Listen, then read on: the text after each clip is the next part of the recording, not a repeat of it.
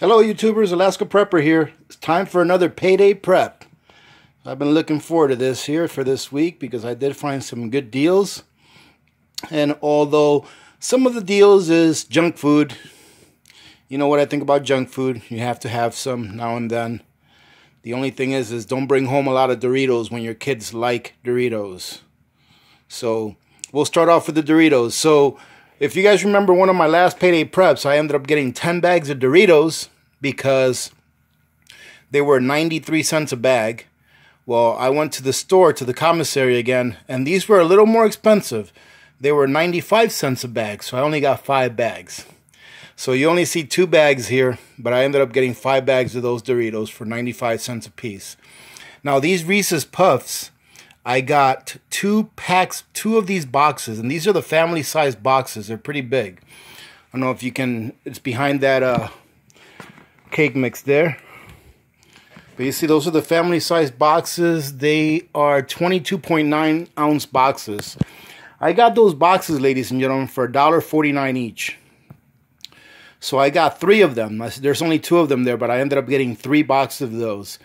I wanted to get a lot more, but I don't think that these will store very well for long term because it does have some fat in it because of the peanut butter. So I didn't get as many as I wanted. I wanted to get enough to fill a five gallon bucket. But then I thought about it. I looked at the ingredients and it does have some uh, fat in it. So I'm not sure if it'll store well for a really long term. Although I know that peanut butter will last a very long time as long as you keep it sealed in the jar. All right, but I got a great deal on those, $1.49 a piece. And this here says, like I said, maybe it's true, maybe it's not. But this here says no high fructose corn syrup, no colors from artificial sources, and no artificial flavors. So if that's true, then good for them for doing the right thing.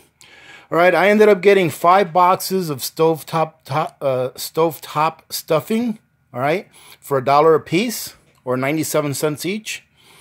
I ended up getting two boxes of uh, cake mix, and the reason I got these is because they these these things are like a dollar a piece at the commissary or a dollar ten or something like that a piece.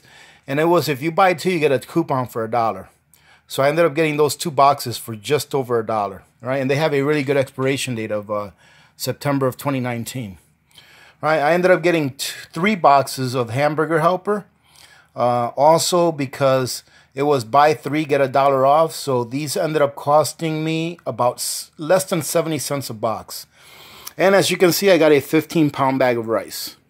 So everything you see here came out to, with the exception of the extra box of cereal that I got, and then the other four uh, bags of Doritos, because I ended up getting six bags, not five, six. All right. So everything that you see here came out to $29. All right, ladies and gentlemen. So not a bad haul. Not a bad haul at all. We have a few things here that we'll be able to store long term. I know for a fact that cake mix will store for a long for a long time.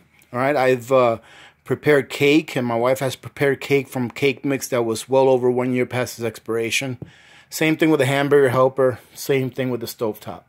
Okay, these items here, the cake mix, hamburger helper, stovetop, these may not be long-term food storage, but it depends on what you mean by long-term. Okay.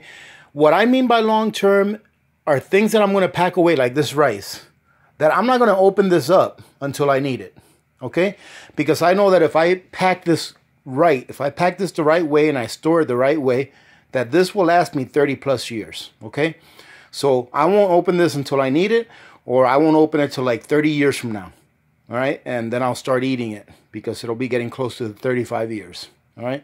Uh, these foods I don't consider long term because these will go in my working pantry and will probably be uh, use up most of, if not all of this stovetop this uh, Thanksgiving coming up. Okay, same thing with these things.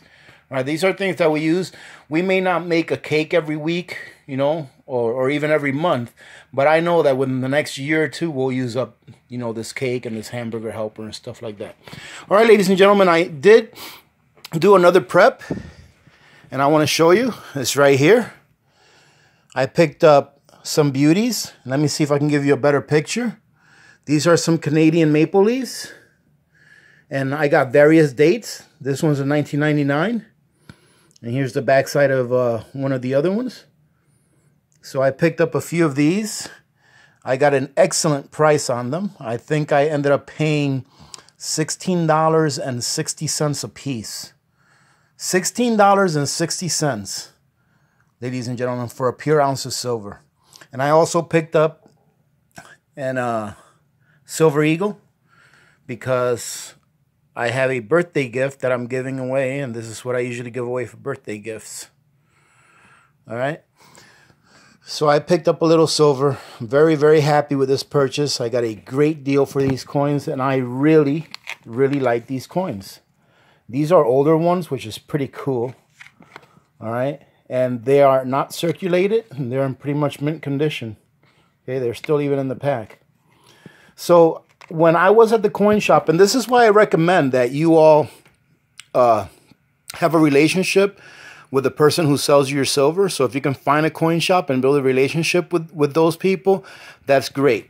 Because when I went over there, usually when I go over there and get a little bit of silver, I usually stay and I'll talk and, you know, uh, talk for a few minutes, you know, just back and forth. If they're not really busy, you know, we'll just chit chat. And this time around, I asked him, I was like, how do you know that this is real silver if you have not opened the packet?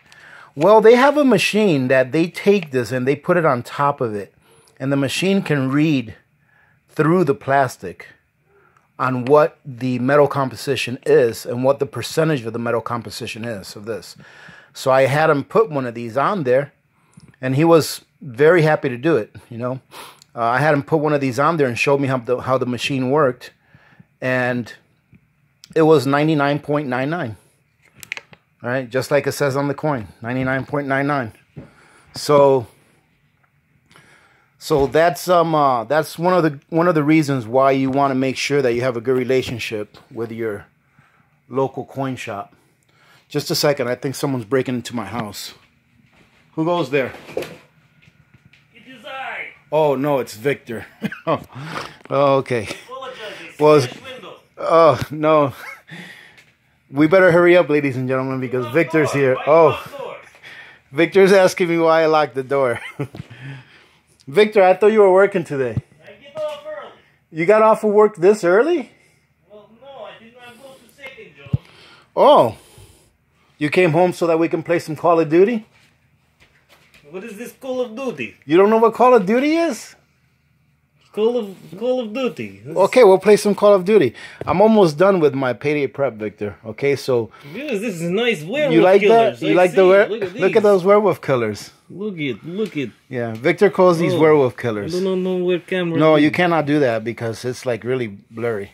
So I was almost getting done with my video, Victor. So listen to this because I'm going to give the audience here a real quick lesson on why they should hold silver or why I or why I hold silver, okay? Because I'm not recommending anything. Why? We already talked about Why this. am I not recommending anything? Because you are not professional. That's right. I'm not a financial advisor, right? What what kind of Definitely not. what kind of a degree do I have? Do you know? I think you have associates in Asso- some such. In so- in general studies. There you go. Yep, general education. Very good, Victor. So, yes, we've talked about this in the past and in length. However, we keep getting new subscribers. So, I want to make sure that the new subscribers, in case they haven't seen one of my old videos, also understand I why it's know why you get new subscribers. I don't understand why you keep interrupting me.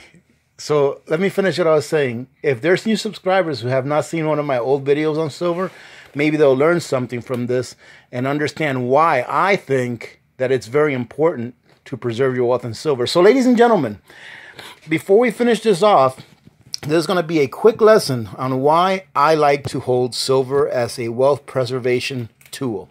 Okay, so I went ahead and did a little spreadsheet here on my computer. And I went ahead and I looked back to 1913 at what the price of milk was. Now, in 1913, the price of milk was 9 cents a quart or 36 cents a gallon. All right, so 36 cents back in 1913 was the equivalent of just a little over a quarter ounce of silver. Okay, just a little over a quarter ounce of silver. At today's spot price, which is around 1470, it's between 1460 and 1470. 0.26 ounces of silver is equal to $3.81 in nominal terms. That means that if you go and take a quarter ounce of silver to a coin shop and they pay you spot for it, you're going to get about $3.80. Okay? Today, the average cost of milk in the US, the average cost of milk is $3.50. Now, I know that I've told you guys that up here in Alaska, milk costs more than $4 a gallon, sometimes even five. However, this is the average cost of milk in the US. Okay, it's $3.50.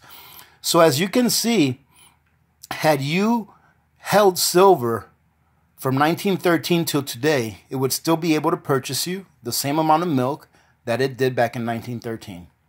All right, so ladies and gentlemen, that's just a short lesson on on trying to help you understand how it is that, or not how it is, but how silver retains slash maintains its purchasing power.